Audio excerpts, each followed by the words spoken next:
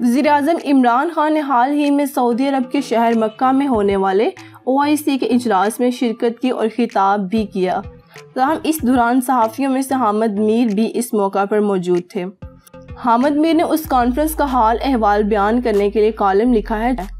Senior صحافی حامد میر نے اپنی تحریر میں کہا ہے کہ وزیراعظم عمران خان کی تقریر ختم ہوئی تو ایک بنگلہ رہائشی صحافی بھاگتا ہوا میرے پاس آیا اور کہنے لگا کہ عمران خان نے آج ترکی کے صدر طیب اردگان کی کمی پوری کر دی ہے۔ کیونکہ اکثر عرب صحافیوں کو عمران خان کی زبان سے گولان کا ذکر سن کر خوشگوار حیرت ہوئی۔ کیونکہ اب کئی عرب حکمران گولان کا ذکر نہیں کرتے کہیں امریکہ ناراض نہ ہو جائے۔ And uh, Golan Heights must be returned as the 1967 bomb and uh, the Golan Heights must be returned.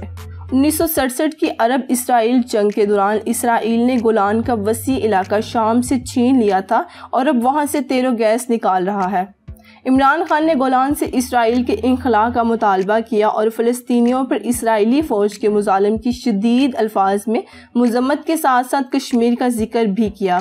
سہرے تک بہت سے سربراہان مملکت تقریریں کر چکے تھے اور کانفرنس میں موجود پچاس سے زائد اسلامی ممالک کے صحافیوں کی اکثریت کا خیال تھا کہ سب سے بہترین تقریر عمران خان کی تھی۔